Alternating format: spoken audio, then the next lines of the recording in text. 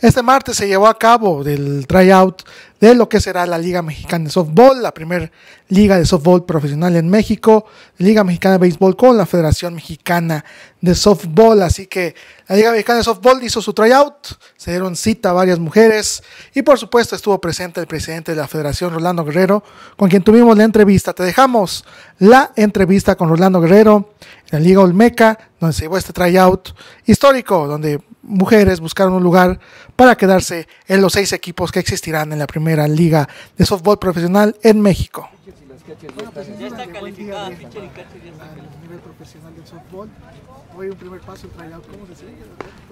Chicas.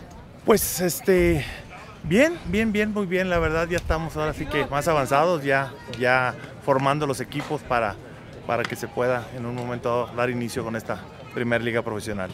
¿Qué ha parecido que las chicas hacer, que, que pues, que pues, se va a realidad algo, ¿no? Claro, claro, no, no, no, o sea, o sea ahora sí que, que fueron 280 niñas que, que, participaron, ya ahorita tenemos alrededor de 80, entonces ya, ya se depuraron 200, pero esas 200 igual es algo, ahora sí que pues atractivo para ellas, es, es, algo de venir a probarse para jugar una liga profesional, es el tener la oportunidad de llevarse una camiseta de, de, de esa liga, esa primera, o sea, esa primera liga, yo creo que es, un, es también emocionante para ellas como para, para, nosotros también. ¿Es más o menos la expectativa que esperaban? Sí, sí, sí, sí, sí, claro, claro que sí. sí o sea, se cuenta, conocemos, nosotros tenemos ahorita ya varios años, tenemos nuestro torneo de 22 y menores, 25, primera fuerza, o sea, hay, por decir, esta niña este, que está ahorita lanzando, de, de, del estado de, de, Aguascalientes. La verdad, Aguascalientes casi no participa en los torneos nacionales, muy poco manda equipos y la verdad es una agradable sorpresa de que está tirando a buen nivel, está lanzando buenos rompimientos y se está viendo bien la niña que puede, puede integrar un equipo.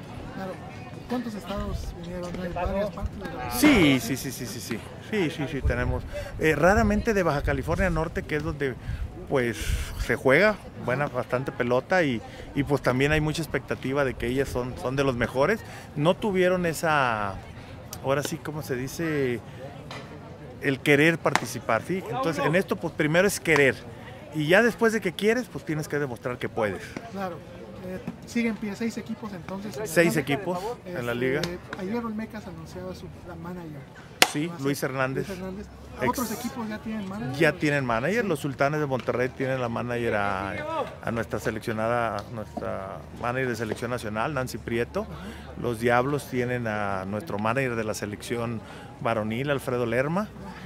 Y este y León tiene por ahí también a, a la coach de la selección mexicana de la mayor, Adriana Pérez. Ok, muy bien. ¿Cómo ve el draft?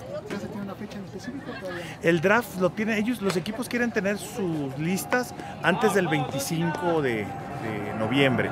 Entre el 15 y el 25 deben de ellos de hacer su programación. Está trabajando Gabriel, está trabajando Horacio, o sea, ellos están trabajando con esa parte con los dueños de cuándo van a hacer. Nosotros, en, después de terminar este, este tryout, necesitamos dos, tres días para, para que estén listos ya, hacer, hacer, tener los seis equipos que van a participar. Ellas, eh, ya, ya, ya, ya. Sí, hay, hay, hay, por decir, hay seis niñas de selección nacional que acaban de llegar de Chile, que bueno, van a sus países, van a sus, pues unas a su país, van a Estados Unidos, otras aquí a sus estados, y que van a participar y este, que ya están, este, ahora sí que este, listas para participar dentro de los equipos. Sí. ¿Qué esperar ahora?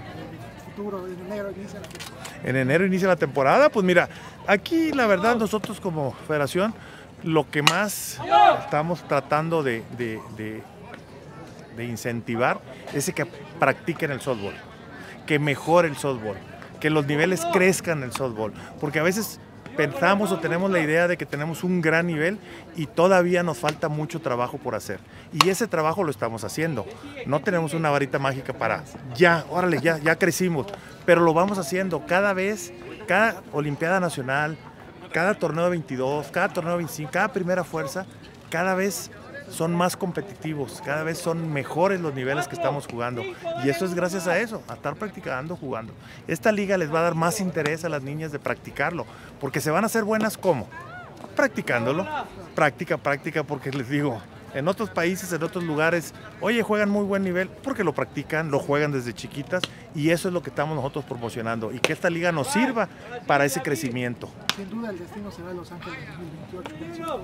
Es, en eso estamos trabajando. Ya nuestra, ahorita nuestra selección de panamericanos, todas, o sea, llevábamos una que era exolímpica de 27 años, que era la más veterana, todas las demás están entre 19, 20 y 21 años.